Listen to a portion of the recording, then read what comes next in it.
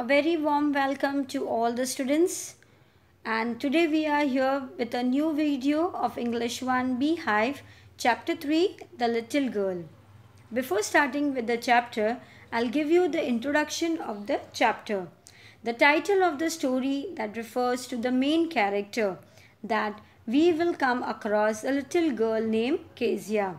And the theme of the story is the relation between children and their parents. And the writer Katherine Mansfield wants to tell us that children share a very important bond of love with their parents.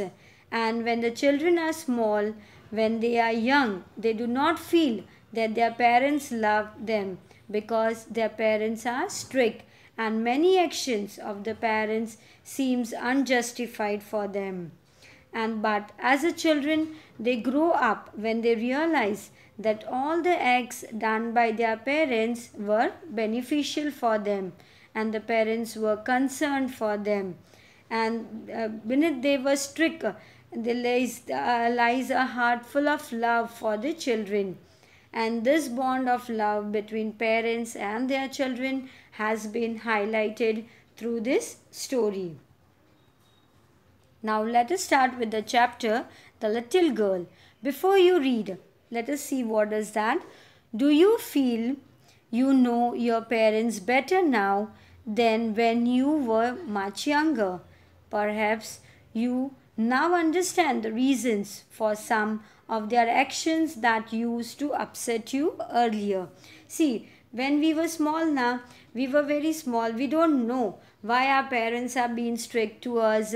They were strict to us. But as when we grow older, when we become mature and we come to know that they were being strict with us and when we realize the things we are we also realize that our parents love us and so even the reader can also relate to this and you all can also feel that when you were younger the action you your parent did the strictness that they had towards you was for your betterment.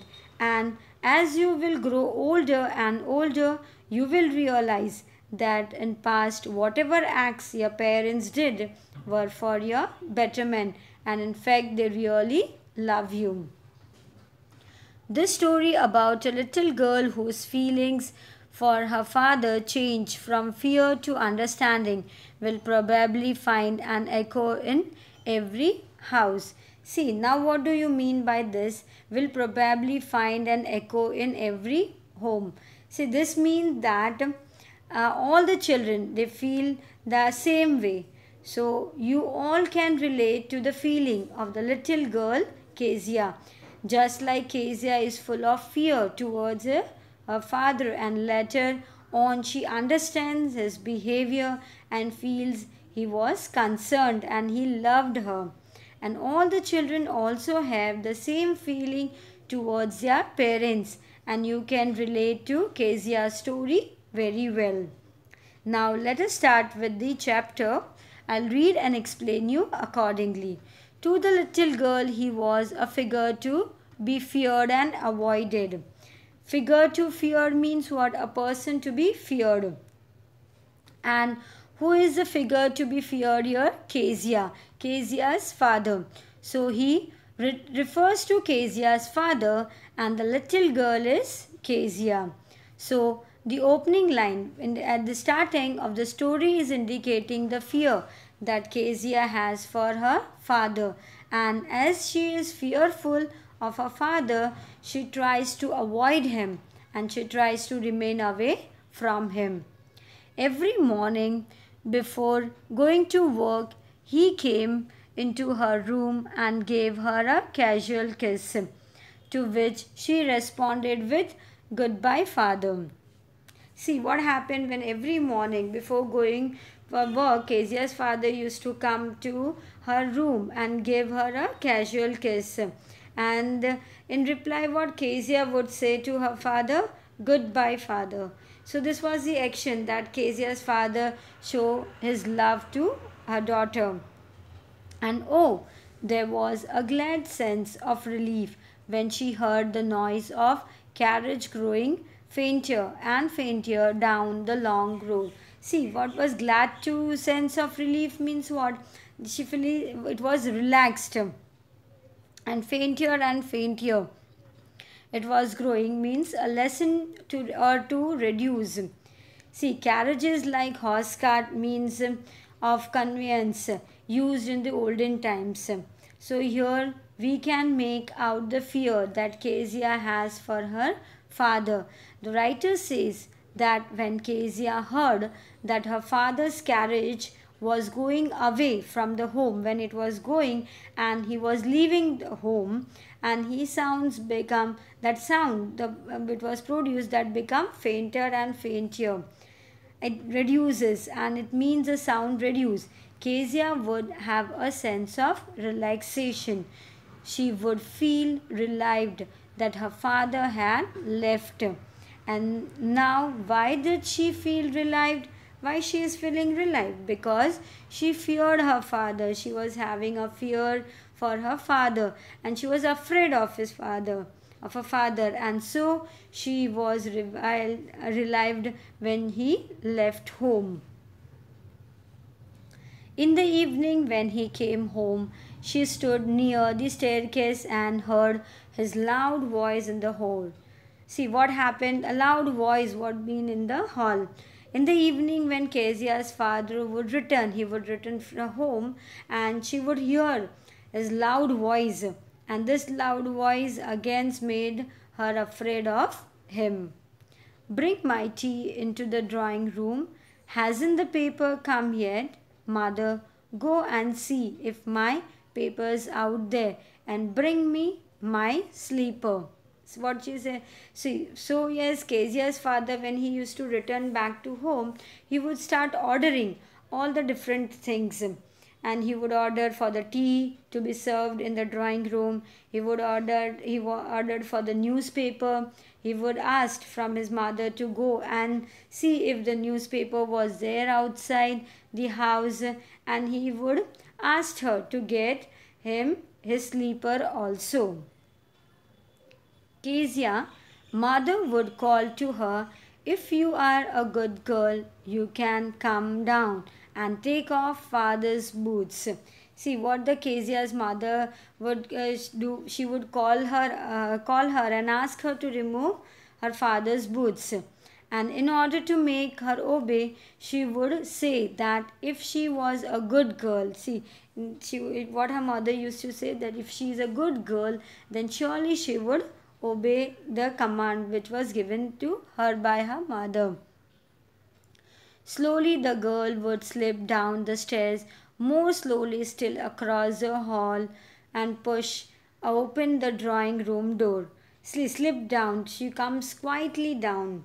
So again, when she Kezia was in the fear, she was fear of her father, and that is why she would come down the stairs quietly and unwillingly unwillingly. Why? Because she did not want to face her father. She was feared of him. And slowly she come across the hall. But that time he had his spectacles on and looked at her over them in a way that was terrifying to the little girl.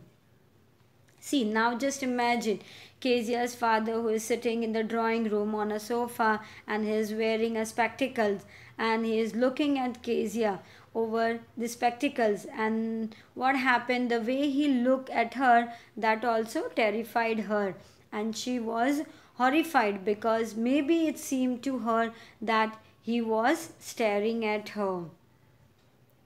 When Kezia, hurry up and pull off these boots and take them out. Have you been a good girl today? See what is said. Kezia was uh, was working in a, in she was in her work uh, and she was slow in her motion. Slowly she was doing, and so her father would tell her to hurry up to do it quickly and remove his boots and keep them out of the room.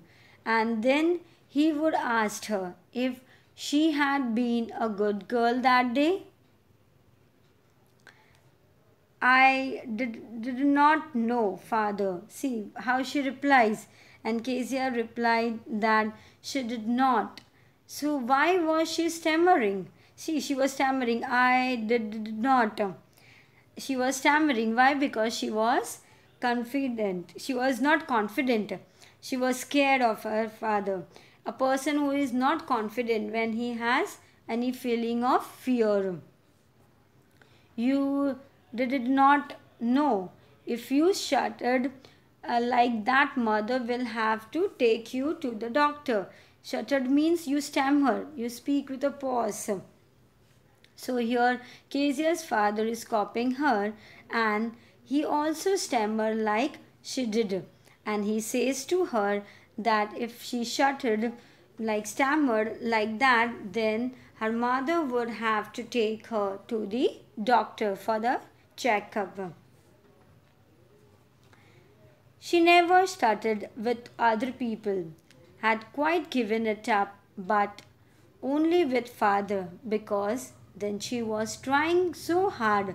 See, give up means she stopped doing it because then she was trying so hard to say the words properly. She was trying hard, was making a lot of efforts. So here the writer tells us that the Kezia never stammered while she used to talk with the other people. But when it comes to her father, uh, that she lacked confidence.